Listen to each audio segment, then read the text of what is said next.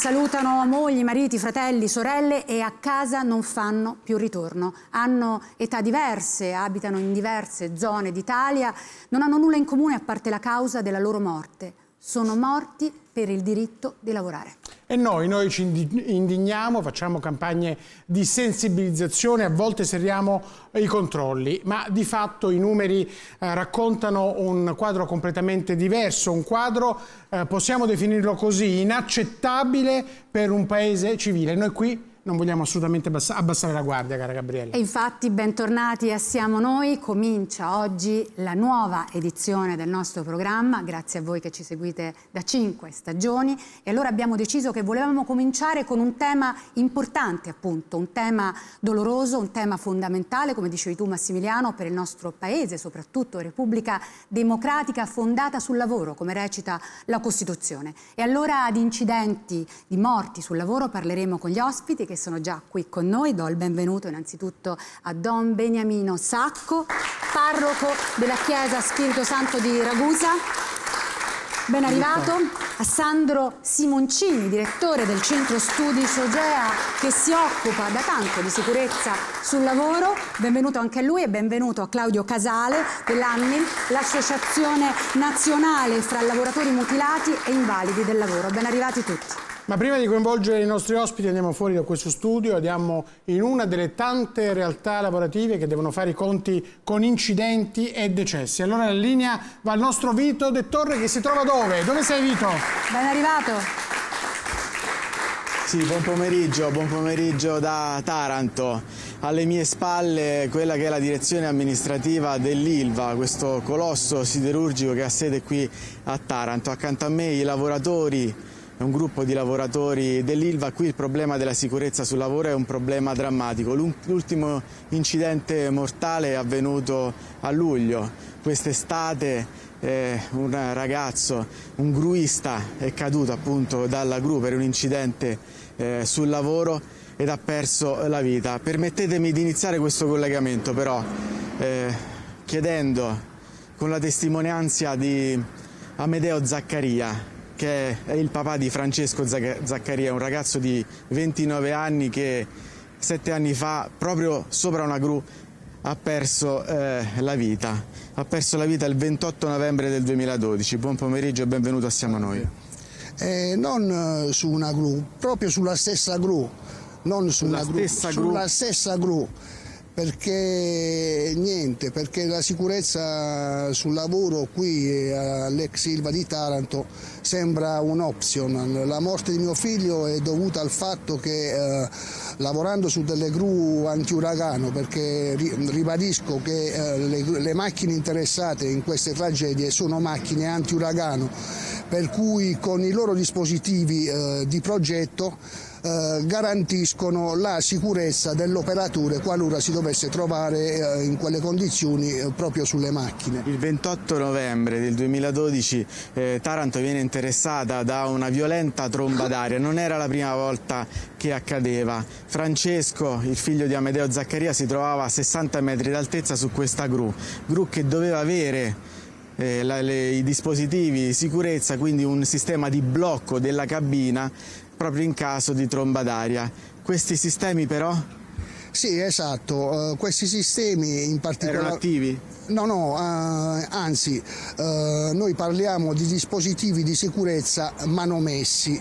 Praticamente la trave che doveva reggere l'impatto della cabina della gru non era conforme a quella di progetto per l'appunto della macchina. Non Quindi solo... questa cabina si sfila dai sì. binari dove era allocata e esatto. cade dall'altezza di 60 metri. a mare dall'altezza di 60 metri. In più il, il dispositivo antiuragano che doveva garantire garantire il fermo della cabina era stato proprio rimosso dal suo, dal suo posto, per cui anche se i gruisti sapevano dell'esistenza di questo dispositivo, eh, Francesco non l'avrebbe potuto inserire perché era stato tolto. C'era un pulsante da spingere, non c'era il sistema, ma anche se l'avesse spinto non avrebbe mai no, funzionato. No, no, non avrebbe, mm, mm, mm, precisiamo che non era un pulsante, ma era un, una leva da inserire eh, in una sede apposita però questa leva era stata tolta, il foro dove doveva andare a inserirsi lo spinotto era stato chiuso, cioè era stato proprio azzerato come dispositivo, non c'era niente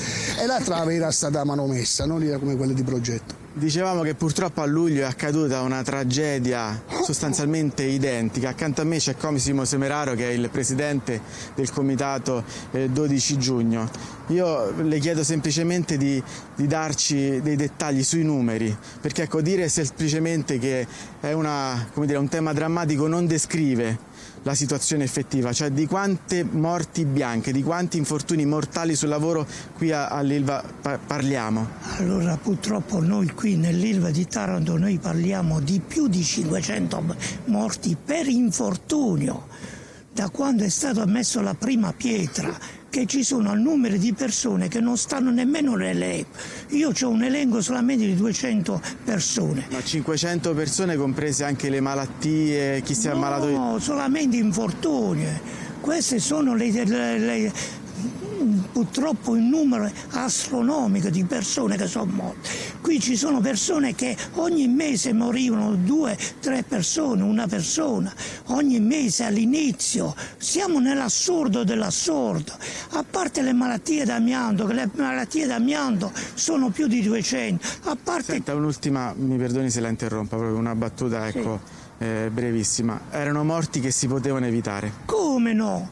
Io me la prendo con lo Stato. Lo Stato sapeva che l'amianto era cancerogeno dal 1900. Anche gli infortuni sul lavoro, lei dice, potevano essere evitati? Sì, come no. Se, ci, se, mettono al primo posto la salute e la sicurezza degli operai, non il profitto, tante vite umane si possono salvare. La ringrazio, la ringrazio. Restituiamo la linea allo studio, poi torniamo ovviamente qui a collegarci da Taranto per dare anche voce a questi lavoratori che, come dire, rischiano, ogni giorno rischiano. Qualcuno di loro prima sentivo diceva è una roulette russa.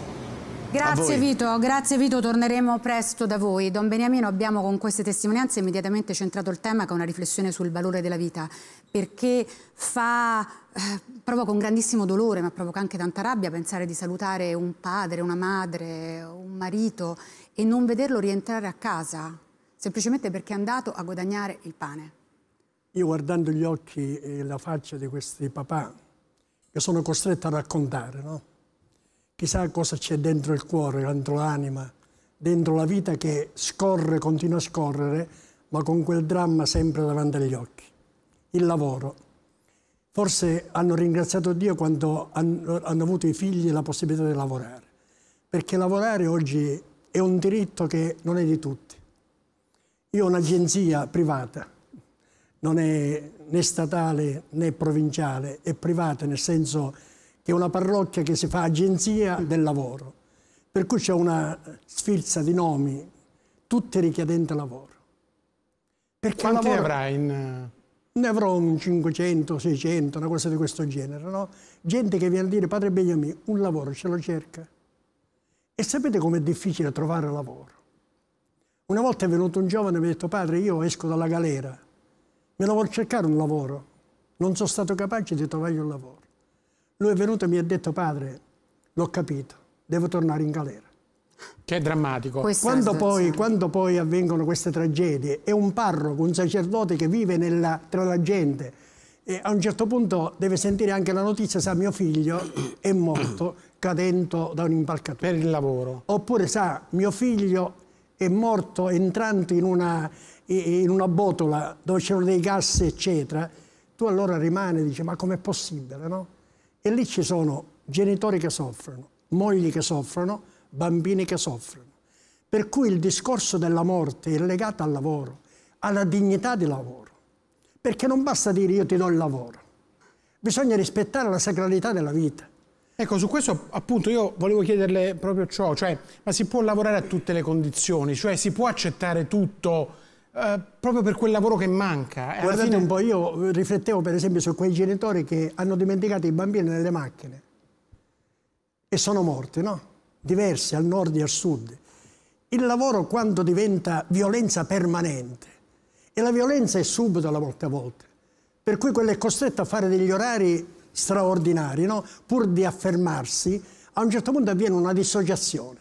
Cioè quell'uomo non riesce più a capire dov'è, cosa sta facendo o chi sta lasciando nella macchina. le tragedie sono queste. Non basta avere un lavoro, bisogna dare la dignità del lavoro e bisogna rispettare la dignità della vita. Se l'abbinamento lavoro-vita si dissocia, noi abbiamo la violenza in nome del lavoro.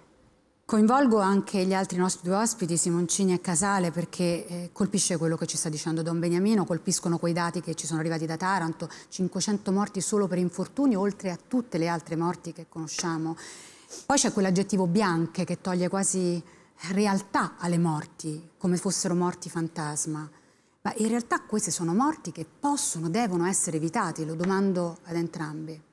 Beh, diciamo che affrontando l'aspetto anche meno filosofico, una perdita di un dipendente per un'azienda è una perdita di valore importante perché magari quel dipendente è una persona preziosa che può portare produttività e reddito. E quindi è, è fondamentale che l'azienda abbia un approccio diverso verso la sicurezza del suo dipendente e l'approccio alla sicurezza non sia solamente un costo economico da mettere nella voce di bilancio e per cui da ridurre nei momenti di crisi, ma deve essere una preziosità, una preziosità della risorsa che forse in maniera meno filosofica può sfruttare perché la risorsa umana capace che viene persa quindi ti chiedo subito poi i dettagli, anzi entrare proprio in profondità sul tema lo faremo dopo, eh, così coinvolgiamo Casale. Se tu dovessi dire la principale causa di tanti infortuni e tante morti, qual è? Siamo noi, è la nostra cultura, io lo dico sempre. Una volta vorrei venire qui e, e parlare di diminuzione di morti, mentre ogni volta eh, sia infortuni che di morti eh, non riusciamo a far scendere il livello. È la nostra cultura, il nostro approccio alla sicurezza, ma anche il nostro personale, eh, anche di chiunque di noi assumiamo una persona a servizio a casa, quanti di noi hanno una persona in regola e quanti ce l'hanno in nero, quanti si preoccupano eh. che non si tagli con un coltello una mano e quanti, beh, sarà un problema suo. Cambiamo la nostra cultura, dopodiché ci preoccupiamo di quella delle aziende. Casale. Annuisce e tra poco entreremo nei dettagli, sì, Casale, sì. perché questo è un fenomeno drammatico. Peraltro stiamo vedendo i numeri che tra poco farò commentare anche a Simoncini. 600.000 infortuni l'anno, più di 1.000 mortali. E questa è una tragedia, una strage. Certamente, che si vogliono sempre evitare questi infortuni sul lavoro, eh, perché credo effettivamente che basta fare una prevenzione molto più accurata in azienda e fare una formazione pure alla, alla agli operai, perché delle volte l'operaio effettivamente in azienda spesso e volentieri fa cose avventurate, cose che non dovrebbe fare, eh, movimenti che non devono essere ripetuti. Io sono stato vittima di questo incidente, è vero, 20, eh, avevo 25 anni, ho avuto questo gravissimo infortunio di lavoro, Oggi... Ce lo racconta dopo, okay. perché adesso è il momento di coinvolgere i nostri telespettatori. È ritornato, eh? Il nostro Simone. È ritornato Simone. Senza di lui non si ripartiva. Simone. E allora è il momento di coinvolgere voi che ci state seguendo in questo momento. Dite la vostra sul tema di oggi, interagite con noi e eh, fateci un po' per anche un quadro delle vostre zone, del vostro territorio. Diteci appunto se di recente ci sono stati incidenti sul lavoro. Vi lascio subito i nostri contatti, mandateci una mail, siamo noi, chiocciola tv2000.it, il nostro numero WhatsApp 348 30 70 345 mandateci un messaggio o un breve vocale oppure chiamateci, lasciate un messaggio in segreteria all'800 22 88 96 o semplicemente, mi raccomando, venite a trovarci sui nostri social, Twitter, Facebook e Instagram. Grazie Simone. Quando la dice così bisogna, non bisogna che scrivere, subito. Eh? Tutti, tutti subito, risponderanno. Subito, subito.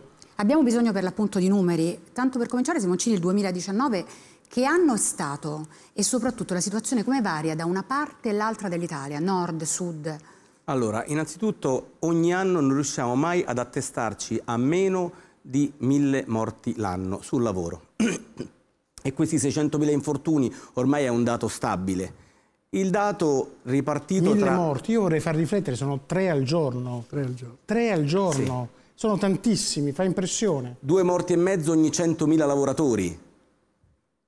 È, è, un numero elevato, è un numero elevato. Noi siamo sopra la media europea e le distinzioni non sono per regioni, principalmente eh, tutte, tutte, le regioni, centro, nord sud sono interessate in maniera quasi uguale dagli infortuni e dalle morti. Certo che dei settori più critici come l'edilizia, come le industrie chimiche sono sicuramente più soggetti ad infortuni di e a, eh, di conseguenza Poi c'è da evidenziare tutto un sommerso, esatto. ma c'è un dato che c'è. Quello non viene rilevato, quello non viene rilevato, ecco il sommerso, le partite IVA, il lavoro nero, specialmente nell'agricoltura o nell'edilizia. Lì Don Beniamino, insomma, con la sua battaglia quotidiana contro il caporalato ha parecchio da aggiungere, ma io mi vorrei soffermare, eh, Don Beniamino mi consenta, su un dato che fa rabbrividire, perché molti di questi incidenti investono, riguardano ragazzi che hanno, anzi bambini, bambini. che hanno meno di 15 anni. 50.000 bambini l'anno sono soggetti ad infortuni sui luoghi di lavoro. 50.000 bambini, considerando che eh, un bambino purtroppo per legge può iniziare a lavorare anche a 14 anni nelle piccole imprese familiari, imprese nelle quali la cultura della sicurezza probabilmente non è al primo posto, eh, parlo di un bar, parlo di un esercizio estivo, Purtroppo i, purtroppo i, bambini eh, vengono messi a, a, destinati a delle funzioni spesso senza un'adeguata formazione, formazione che è indispensabile che l'azienda impartisca al lavoratore e al bambino spesso che mm, non è nemmeno conscio di quello che sta facendo, non viene impartita nessun tipo di formazione. Questo è un dramma nel dramma, no? Simoncini, e Casale prima ci stava raccontando la sua storia, che cosa le è accaduto? Diceva aveva 25 anni, che cosa Avevo 25 anni e facevo, eh, sono stato operaio elettrico, elettricista e mentre facevo, svolgevo le mie funzioni di lavoro facevo i controlli delle macchinari, cioè dei quadri, queste cose, quindi il mio collega stava lavorando sotto un caricatore billette. Io passavo in quelle parti, lui mi ha chiesto di fornirgli dell'attrezzatura per lavorare. Io sono andato in officina, ho preso questi attrezzi e glieli ho portati. Eh, mentre stavo, lui stava lavorando sotto questo caricatore, lui aveva dispositivo, cioè il cancello l'aveva aperto, eh, tolto i dispositivi di sicurezza, a me però non me ne aveva detto che questi dispositivi erano stati inseriti. Io sono andato in questo cancello, questa macchina a pistone idraulico si è, si è azionata e quindi non c'è più possibilità di tornare Lei è rimasto intrappolato nel mezzo sì. praticamente? E praticamente mi ha trafitto questa cessoia che è fatta, è fatta angolare, mi ha trafitto sul uh, lato sinistro e ci sulla destra. Sarebbe potuto morire. Quattro anni di ospedale, se non sbaglio 15 interventi. Quattro anni entra e fuori da chirurgia generale e vari. Dunque lei era anche padre, padre di un bambino che allora aveva pochi mesi. Cioè, Questa tragedia mesi. ha cambiato e investito tutta la sua vita e quella della famiglia, immagino. Certo, certo, questo sì. Tanto è vero che, che io credo che l'infortunio è una cosa molto grave e lo subisce tutta la famiglia, l'infortunio non lo subisce solo l'infortunato. E io da parte mia, a prescindere dall'infortunio, ho dovuto pure eh, far, eh, farmi eh, difendere in corso di causa, perché anche le cause è un'altra tragedia per chi subisce l'infortunio, perché eh, rivivi tutto quello che tu, del tuo accaduto, del tuo incidente. E questo effettivamente l'ho vissuto e ho iniziato poi da questo infortunio, sono uscito fuori nel modo più migliore, reagendo. Reagendo come? Eh, iniziando a studiare, ricontrollarmi tutte le celle specifiche dell'infortunio, i diritti delle persone che hanno avuto l'infortunio e così via di vai mi sono eh, riprogrammato il mio lavoro. E oggi lei combatte anche per altri? Nel 2000 io ho incontrato questa associazione AMIL che effettivamente che mi ha dato la possibilità di entrare nel consiglio provinciale come delegato nazionale. Ho capito che si può fare qualcosa per, per evitare eh. infortuni. E così io effettivamente in questa associazione AMIL mi ha dato questa possibilità e la ringrazio delle direzioni. No, la storia di Claudio, di Claudio Casale è straordinaria, Sacco. Eh, incidente sul lavoro, resta miracolosamente vivo e sente la responsabilità di quello che gli è accaduto, no? È importante, responsabilità e testimonianza. Ce lo spiegava il suo impegno nell'ambito. Ma di fatto la domanda che ci poniamo, di chi è la colpa? Che non succeda che dopo ogni incidente c'è un esploit di interventi politici, sindacalistici, eccetera, dopodiché tutto tace. I problemi si affrontano con una continuità di impegno. E l'impegno deve essere totale.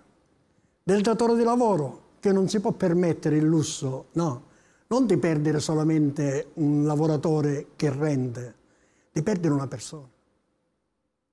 Perché il lavoratore potrebbe essere egoistico, perdere una persona stai violentando tu la vita di una persona ed è terribile questo, da parte del lavoratore, il quale non deve dire dammi un lavoro purché sia lavoro e non mi interessa del resto.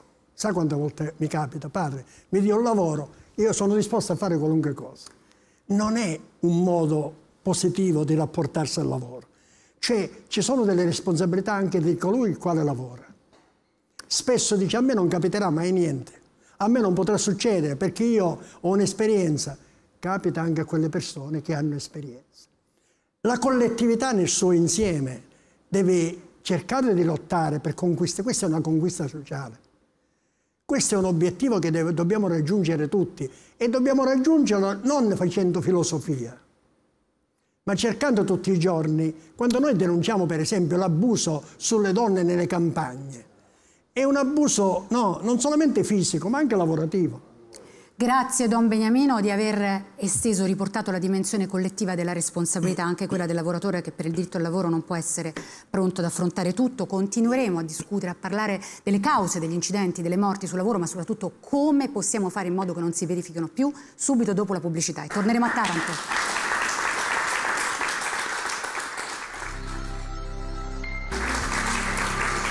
Torniamo in diretta qui a Siamo Noi, stiamo parlando delle troppe morti sul lavoro, un fenomeno terribile che non si riesce purtroppo ad arginare. E prima il nostro Simoncini ci raccontava quali sono le principali cause di morte sul lavoro e quali settori più a rischio.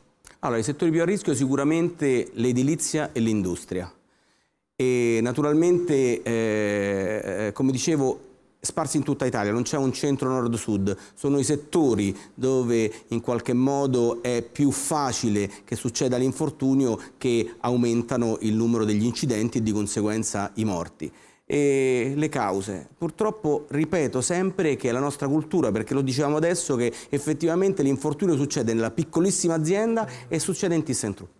Quindi in qualche modo no, non è la dimensione che va a incidere. Che fa la differenza. Non è la dimensione che fa la differenza, è la nostra mentalità nell'approcciare la prevenzione come, non come un viene costo. visto come un costo ma oggi, come, no? oggi un elemento un superfluo costo. quasi. Sì, assolutamente, o se no um, magari ne abbiamo fatto una parte, l'altra parte poi la farò, tanto a me non succede, eh, come dicevamo, e poi eh, mi adeguerò, tanto quello è un adeguamento La eh, faccio in itinere, che la poi faccio... in itinere noi tra l'altro molti forma... sono anche i casi Sì, specialmente la formazione, perché con la formazione tu insegni al lavoratore quali sono i suoi rischi e la formazione, io sfido ogni impresa italiana a aver fatto la formazione e la idoneità alla mansione il primo giorno di assunzione, ma quello nel primo trimestre magari potrebbe infortunarsi, la formazione va fatta il primo giorno, come una visita per idoneità alla mansione, magari quel cristiano non ci vede e, e tu lo metti a fare un lavoro che eh, potrebbe creargli un, un, un danno La formazione l'abbiamo messa al primo posto, quindi rivoluzionare, cambiare un'intera cultura del lavoro, ma torniamo a Taranto, Davide De Torre, perché quello è proprio il luogo simbolico per eccellenza quando parliamo di sicurezza e purtroppo di incidenti sul lavoro. Vito, a te. Sì, eccoci di nuovo da Taranto con i lavoratori dell'Ilva. Accanto a me Biagio Prisciano della FIM CISL. Ecco, è un tema questo che ovviamente a voi preoccupa moltissimo, dicevamo prima in apertura, l'ultimo infortunio mortale è accaduto a luglio, un gruista, però sono veramente tantissime le denunce che fa delle malattie professionali proprio all'interno dell'acciaieria. Ma nostri, le nostre RSU e le nostre RLS sono ogni giorno ovviamente all'interno della fabbrica ed è chiaro, proprio a IMA noi abbiamo fatto una serie di denunce per cui anche eh, alcune gru sono state fermate perché quando ovviamente facciamo una denuncia invitiamo non solo all'interno dello stabilimento gli enti ispettivi ma fra l'altro denunciando anche le, le problematiche diciamo, degli impianti. È un tema molto, molto caldo, io credo che bisogna porre la giusta attenzione e fra l'altro la legge già dà uno strumento che è l'81. L'81 se ovviamente eh, rispettato, ed ecco perché quando poi succedono Uh, gli incidenti bisogna innanzitutto andare a vedere eh, chiaramente se ci sono colpevoli e se ci sono è chiaro che se uno ha sbagliato deve pagare, cioè deve pagare, dice, dice deve essere la certezza della pena, altrimenti poi eh, il fatto che comunque anche alcune volte magari ci sono questioni per cui poi si rimanda, si rimanda e si rimanda. I processi non, che riguardano questi sono molto lunghi. infortuni sul lavoro sono processi che vanno avanti da tantissimi anni. I processi sono molto, molto lunghi, quando si sbaglia su un qualcosa non, non, non, si può, non si può essere lasciati al caso, bisogna chiaramente, perché se qualcuno ha sbagliato deve pagare, deve pagare di fronte a un qualcosa che non ha funzionato come doveva, doveva essere. Voi lavoratori, entrando proprio la mattina quando entrate a lavorare nello stabilimento, ecco, entrate con la paura, con la consapevolezza che l'azienda eh, potrebbe fare di più, che per la logica del profitto magari si risparmia sulla vostra sicurezza. Qual è il vostro stato d'animo nel momento in cui proprio entrate nello stabilimento? No, l'azienda non è che potrebbe fare, l'azienda deve fare di più.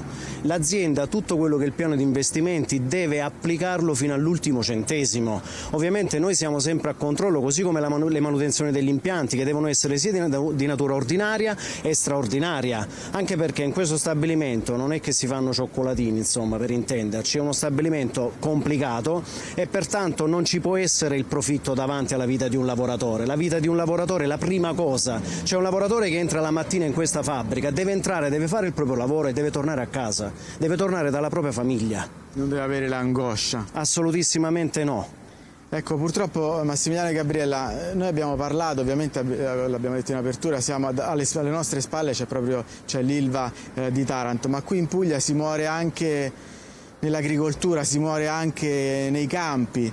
Accanto a me c'è Valeria Dautilia che è una eh, collega, una giornalista della stampa e tante volte si è occupato di queste vicende, non solo dell'Ilva ma anche di, di morte mentre si sta nei campi. È pazzesco, è così. Ricordiamo Paola Clemente. Assolutamente sì, è così. Buon pomeriggio. In Puglia si muore in fabbrica, si muore nei campi. Facevi riferimento all'episodio che ha riguardato Paola Clemente nel 2015, morta, stremata dalla fatica, da un malore mentre era sotto un tendone per la raccolta dell'uva. Soltanto l'anno scorso, soltanto l'anno scorso 16 braccianti morti in due incidenti stradali a distanza di poche ore sui furgoni dove viaggiavano ammassati, rientravano dai campi dalla raccolta di pomodori. E, eh, è emblematico considerare proprio questo, l'assenza di eh, garanzie di sicurezza, pochissimi controlli e proprio l'inchiesta sulla... C'è un filo comune che è l'illegalità. Assolutamente sì, filo comune l'illegalità,